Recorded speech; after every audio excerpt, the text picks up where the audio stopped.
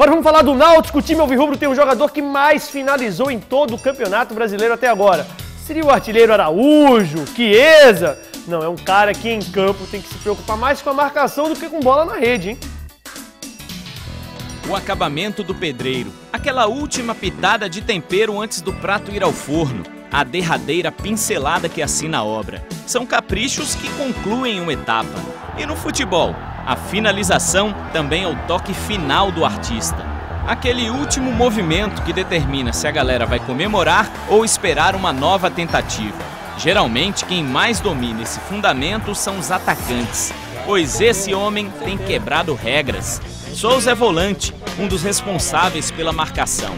E mesmo assim, foi quem mais finalizou até agora entre todos os jogadores do Campeonato Brasileiro. 38 no total. Um cara que joga no meio de campo, que está à frente dos atacantes. Em segundo lugar nessa lista está o Wellington Paulista do Cruzeiro com 37, seguido por Júlio César do Figueirense. Em quarto lugar, empatados, estão Marcelo Moreno do Grêmio e Roger da Ponte Preta. Tá acontecendo as coisas naturalmente. Tô, tô tendo a oportunidade de fazer gol, de chutar para gol. E também tô, tendo também a consciência de marcar. Lógico que tem que melhorar, muita coisa tem que ser melhorada. Mas eu acho que, que a confiança que o Galo tá dando para mim, acho que isso é muito importante. Legal essa fase afoita de Souza, mas seria melhor ainda se o aproveitamento aumentasse. Em 38 tentativas, apenas dois gols, e nenhum deles foi de falta, a especialidade do rapaz. A propósito, faz tempo que ele não marca de bola parada. Desde que se machucou no Pernambucano, os gols de falta sumiram. Será que a pontaria se foi? Ele jura que não. Fase ruim pra mim é.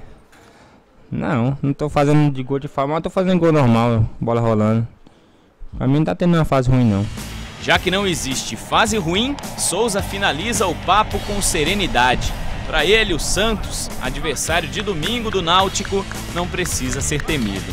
A gente sabe que é um jogo difícil, é, a gente sabe que, que o Santos é uma equipe forte, mas eu não me sinto nem um pouco ansioso ou de maneira alguma preocupado com, com o jogo não.